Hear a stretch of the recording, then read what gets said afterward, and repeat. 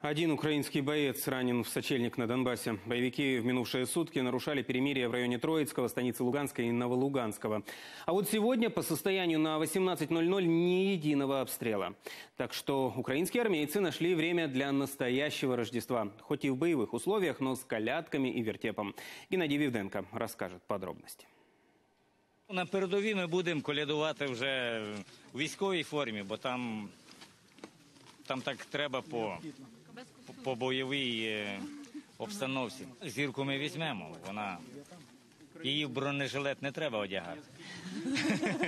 На передовій всі одинакові, і царі, і убогі, і пастирі.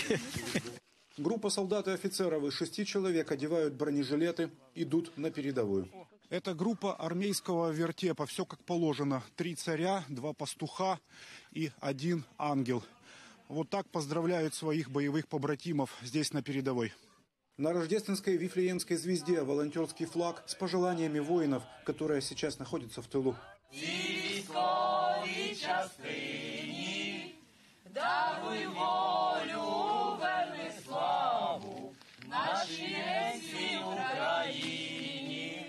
Текст старинной рождественской песни немного подправлен согласно ситуации на фронте.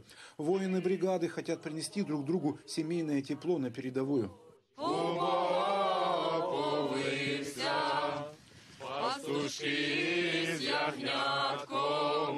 На второй линии обороны колядники уже могут быть без брони.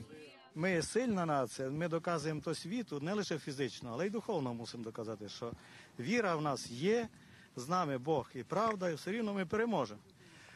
А для того є вертеп. Вифлеемскую звезду и короны делали из материала термобарьер. Им обычно утепляют боевые укрепления. Теперь пригодился для театрального действия.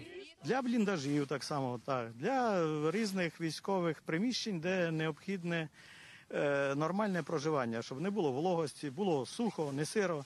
І теплоізоляція така от. А тепер це? А тепер це різні Корона. корони.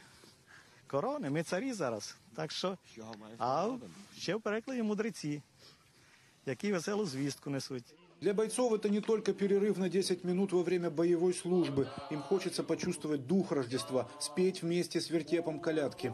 У нас вихідних немає, святкових, ну, святкові є, але в свята у нас підвищена бойова готовність постійно. У армейского вертепа еще две позиции. Надо успеть до наступления темноты, когда противник может начать вооруженные провокации. Бажаю всім українцям миру і добра. Христос це рождає. Геннадий Вивденко, Евгений Пахальчук, Игорь Щепет. Подробности телеканал Интер из Луганской области.